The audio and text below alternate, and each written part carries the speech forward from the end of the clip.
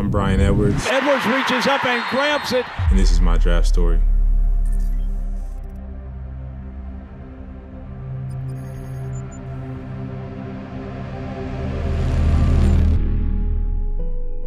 Growing up in South Carolina, it's uh, it's a different experience, man. It's just very family oriented. You know, just sticking together, always being together. It's kind of like my family is like glue to me. Just growing up, football was part of my family, so just since birth, it was kind of put into my hands. You know, my grandfather he played at Clemson. Everybody in my family played football, so it was kind of just like there. Got this! D ready! Ready! Exxon! It was like the perfect match, honestly.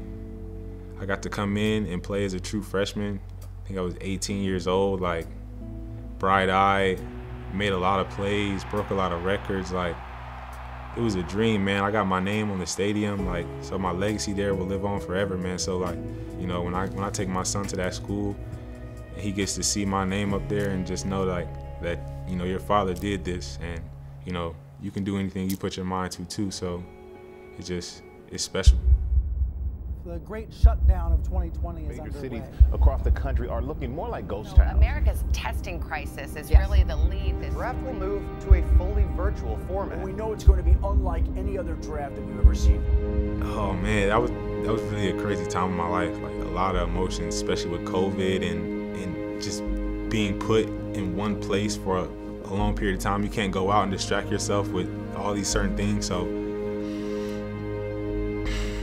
in the pre-draft, um, kind of like when you're working out for the combine and all those things, I actually broke my foot, and you know, the combine is kind of your your platform where you you show the scouts like who you are and what you can do. And I was really like looking forward to doing that because I felt like that would make me a, a first round talent. And breaking my foot, not allowing me to participate, you know, it it it tore me up.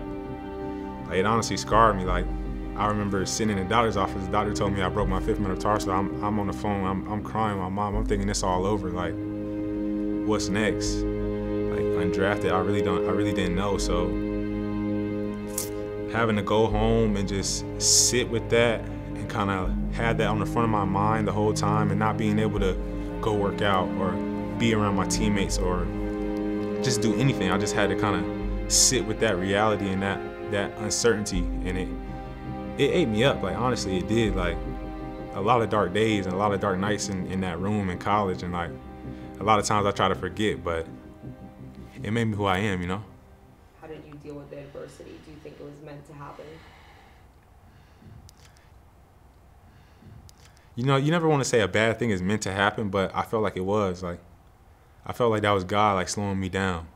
Because, you know, your whole life you're told, hey, you're this person, like, you're destined to be this. Like, you kind of lose sight of the things that are in front of you and, like, just, like, the everyday things of life. So, you know, that moment really sat me down and said, hey, like, just like I gave all this to you, I can take it away. So, I definitely felt like it was meant to happen.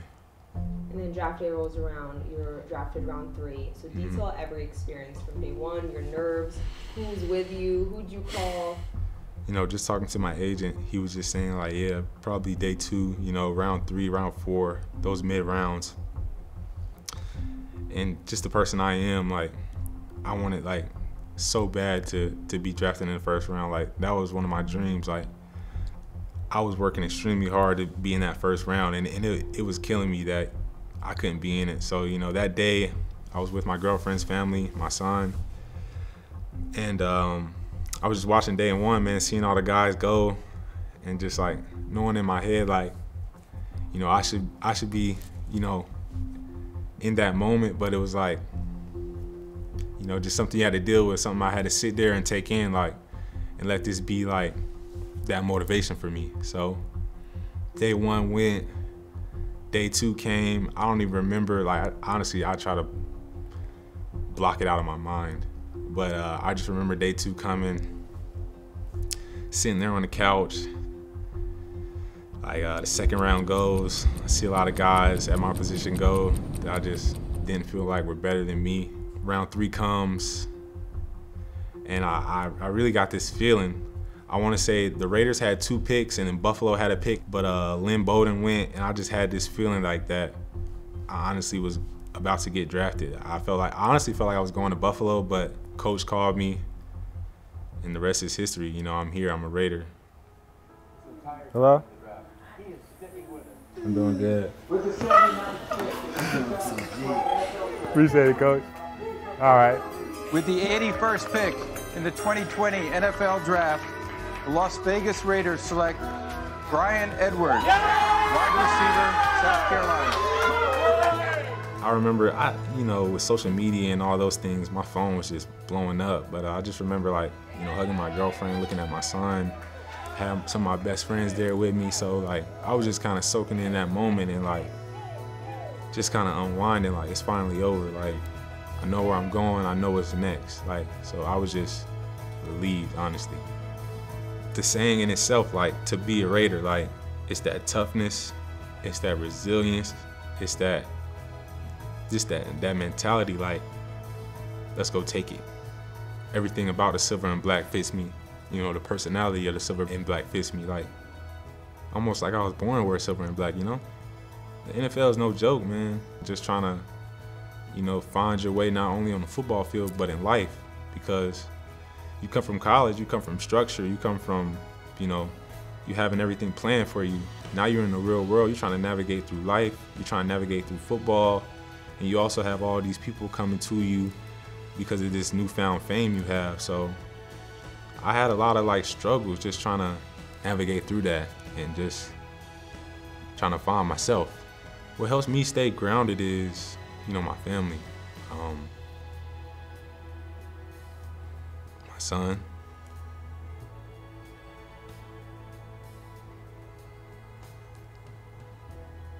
My girlfriend. Um, my close family, my mother, my father, my sister. Just having those people around me and knowing I have a support system around me, um, it helps me, man. It really, it just keeps my, my head clear and my mind focused so I can just continue and just, you know, fighting and continuing, trying to be the best I can be. Deep downfield, that is caught, and taking it to the end zone is Bryan Edwards. Touchdown. I just feel like year three is the year it all comes together for me. You know, I almost get like emotional talking about it just because I'm so excited and I'm so just ready to kind of just just prove myself, honestly. I spent a lot of time I spent a lot of time just working, man, and, and, waiting for this moment. You know, when I get my opportunity, I plan to take full advantage. And, you know, you get this feeling like you don't feel like anybody can stop what's about to happen. So, you know, I'm just ready.